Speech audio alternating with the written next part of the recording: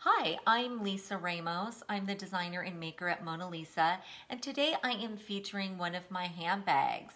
This fun tote bag is designed in a beautiful pink leather, really gorgeous. It can go with so many different outfits, whether it's summer or springtime or winter really just a pop of pink. This bag is designed with a removable fringe piece. Also, a really big bonus of this bag is it has a double-sided base, a double-sided leather base bottom that you can maintain that beautiful structure on your bag when you're carrying it around town.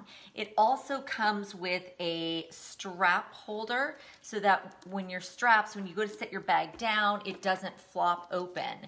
So you can you know, keep this on or off. I always keep mine on because I carry, I'm famous for carrying a, a tote bags. Um, you can see you can move it around and it just really makes your bag stay in place when you're setting it down and also when you're carrying it. It keeps it nice and snug.